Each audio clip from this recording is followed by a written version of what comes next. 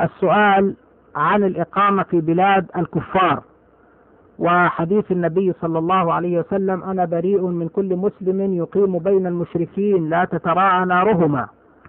يقول هل هذا الحديث عام أم كان لحادثة معينة؟ وفي نفس الوقت هناك من أهل العلم من أجاز الإقامة في بلاد المشركين طالما أن المسلم قادر على إظهار دينه. فما معنى هذا وما هو دليلهم؟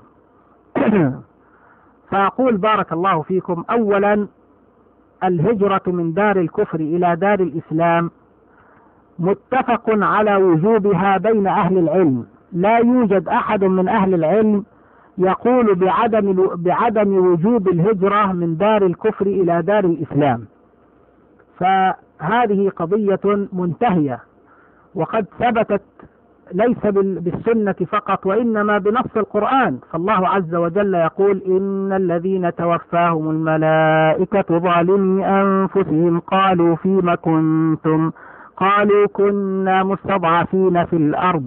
قالوا ألم تكن أرض الله واسعة فتهاجروا فيها؟ فهذه الآية في الهجرة من دار الكفر إلى دار الإسلام.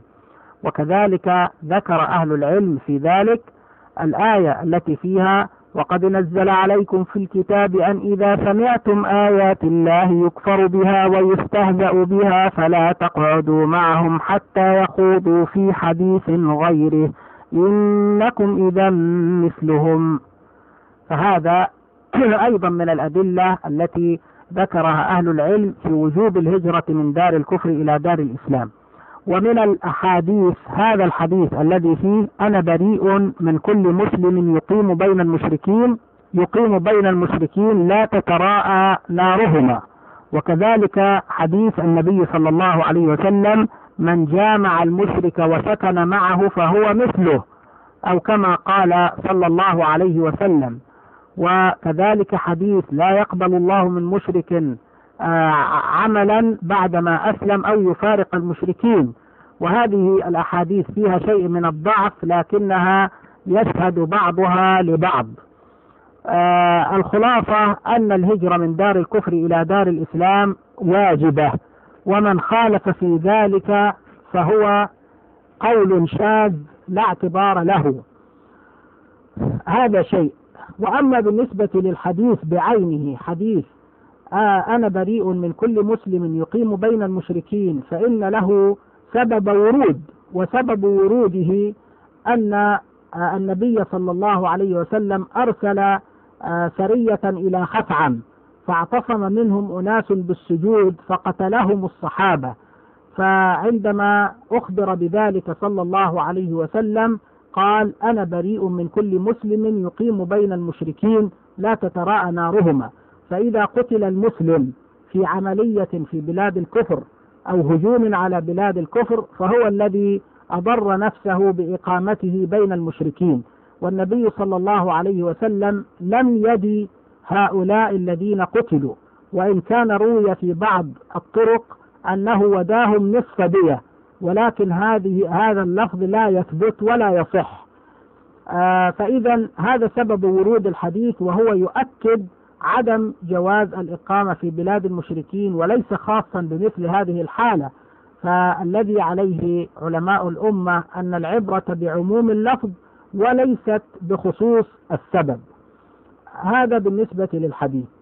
آه، أما من ذهب من أهل العلم إلى جواز الإقامة إذا كان المسلم قادرا على إظهار دينه فإنما استدلوا على ذلك بأمور منها مثلا حصول التجارة من بعض الصحابة ويقولون إن أبا بكر رضي الله عنه كان يفعل ذلك وفي الحقيقة لا أعرف نصا صحيحا يدلل على هذا الذي ذهبوا إليه لكن القول عندهم في مثل هذه القضية مقبول ومعتبر لأنهم يتكلمون عن آه، ما يعتبر الآن ويسمى في زماننا بالحماية الدبلوماسية أو الحصانة الدبلوماسية.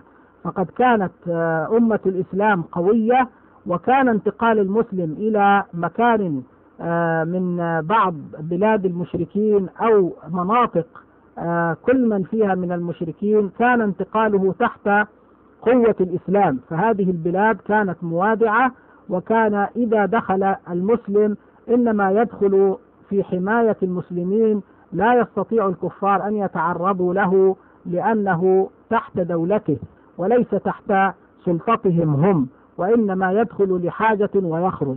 ولأجل هذا كان إذا ذهب الشخص وكما احتج هؤلاء الذين قالوا بذلك اشترطوا أن يكون قادرا على إظهار دينه وبينوا ما المراد بإظهار الدين.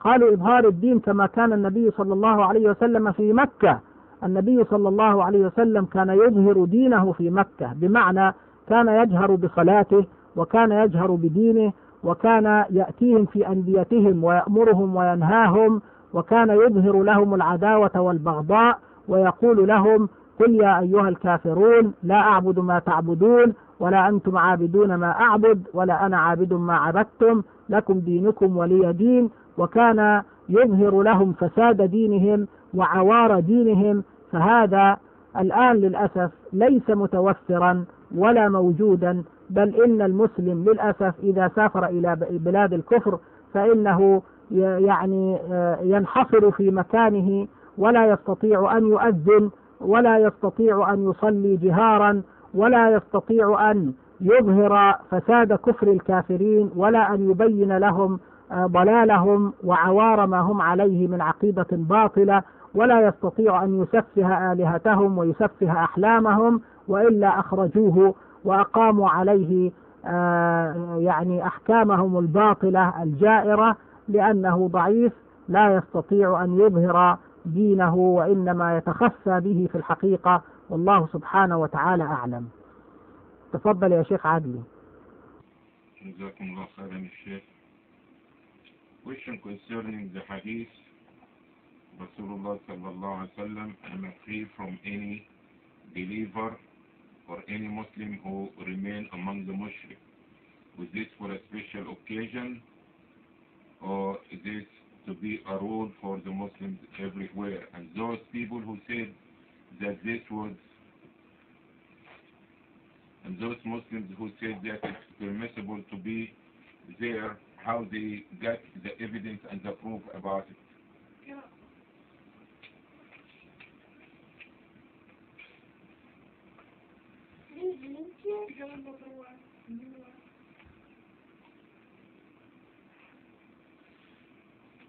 And the Sheikh is saying that the hadith, as we understand, we go by the statement of the hadith, not by the statement, we we go by the statement آه، معذرة شيخ يعني آه، حصل آه، عملية آه،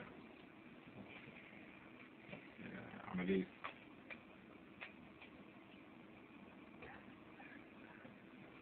دقيقة واحدة يا شيخ معذرة. الدرج أسفل الدرج أسفل أسفل خالص.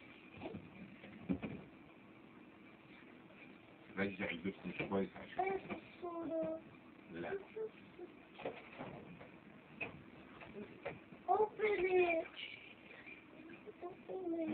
أعطيهم لبيت سهل ناس وديهم داخل خالص معذرة شيخ لحظة. دوسي عن تعال حكاية انت جنب اليد دي. ايوه ايوه في الداخل خ- ايوه في الاخر على الاخر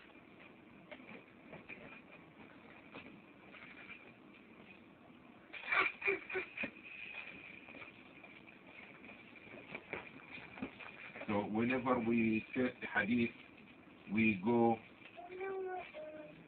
uh, with the general meaning of the hadith, not the occasion, because the occasion it can be over, but still the statement of the hadith applies to other times. Yes, we understand that uh, there is occasion for it, but does not have to apply in all times.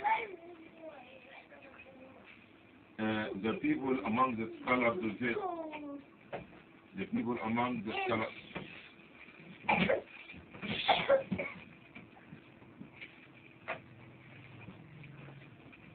Who said that it's permissible to remain in the land of the kuffar, they use the emphasis that some of the Sahaba, they used to travel and make business.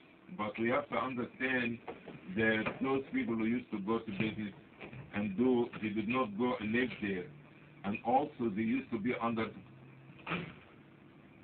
and also they used to be under the protection of the Islamic country. And they have the ability to Uh, show up or to preserve their deen, i.e. like the Prophet ﷺ when he was during the time of Mecca. They used to make salah in public. They used to tell the people that you are wrong about what you believe. And they uh, used to condemn their, their gods and their deities. So this is a condition. Where is the Muslim who can go in a non-Islamic same thing.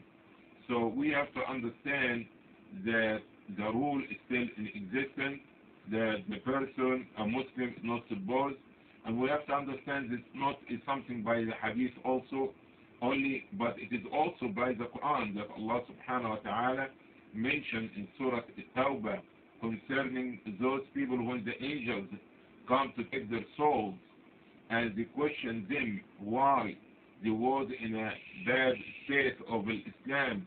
And they used to say that we are used to be weak in the earth and the angel will say to them that the earth of Allah subhanahu wa ta'ala was spacious for you so why you didn't migrate so we have couple of verses in the Quran and we have two hadiths and we have one hadith which is some weakness in its isnad but still all the things to show that it's not supposed for a Muslim to remain in the land of the kuffar and Allah knows best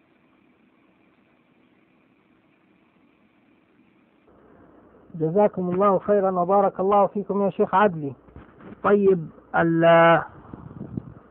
أخونا مبارك خرج. سبحان الله. طيب ال- الأخ كريم أبو علي يقول حديث لا يقبل الله عز وجل من مشرك بعدما أسلم عملا أو يفارق المشركين إلى المسلمين حسنه الألباني في أكثر من موضع. نعم بارك الله فيك. هذا تحسين منه بمجموعة طرق كما قلت يشهد بعضها لبعض. هذه الأحاديث وإن كان فيها شيء من الضعف لكن يشهد لها ال- الأحاديث الأخرى ولذا حسنه الشيخ الألباني. بارك الله فيك. طيب ال- الأخ يقول في بلاد الغرب أحيانا آه، نرى المسلمين يسوقون التكاسي أو سيارات الأجرة. مع امرأة لحالها. هل هناك من نصيحة؟ أقول بارك الله فيك. يعني النصيحة أولا تقدمت في كلامنا حول قضية الإقامة في بلاد المشركين أن الأصل أن المسلم لا يقبل بالإقامة في هذه البلاد. ثانيا إذا أقام هناك فإنه يتعرض لمخالفات شرعية كثيرة. ومن ذلك هذا العمل الذي ذكرته ولكنه ربما يكون أفضل من أعمال أخرى وأهون في المعصية من أعمال أخرى. فالذي يقود سيارة ويعني يركب معه امرأة أجنبية لا شك أنه واقع في مخالفة شرعية وهي الخلوة بهذه المرأة والفتنة بهذه المرأة. ولكن هناك أعمال أخرى أعظم كالذي يعمل في أماكن بيع الخمور وفيها ما فيها من الاختلاط ومن سماع الأغاني ومن كشف العورات ومن السكوت على منكرات كثيرة بخلاف تقديم الخمر وتقديم لحوم الخنزير وما إلى ذلك. فالقضية خطيرة. فنحن نقول وننصح إخواننا بأن يقللوا قدر المستطاع من المخالفات الشرعية إذا عاشوا في هذه البلاد. وبالنسبة لأخينا أبو علي يقول لا يركب النساء سيقول لك الأخ لا يستطيع ذلك لأن الدولة يعني تحاسبه إن لم يركب الراكب الذي يشير له أو يطلب الركوب معه.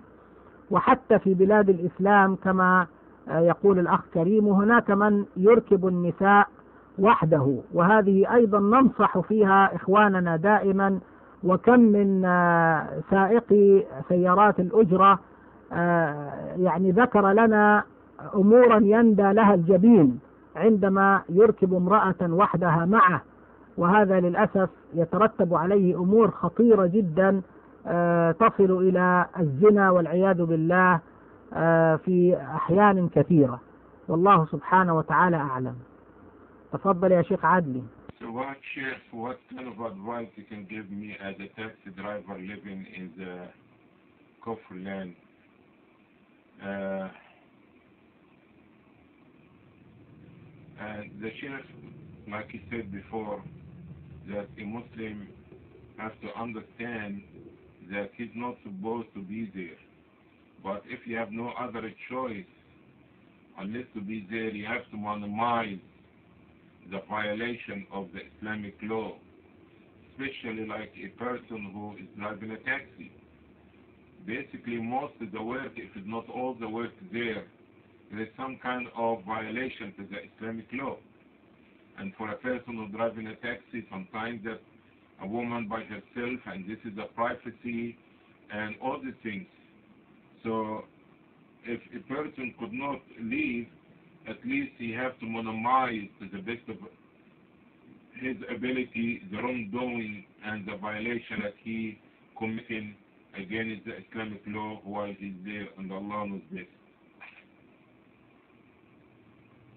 جزاكم الله خيرا وبارك الله فيكم طيب ها الأخ علي علي هل لديك شيء الأخ علي علي أبو علي هل لديك سؤال آخر يا أبو علي الأخ يقول إذا كانت المرأة التي تعيش مع زوجها في ديار الكفر تريد الرجوع إلى بلدها ولكن وحدها بدون محرم هل يجوز لها ذلك؟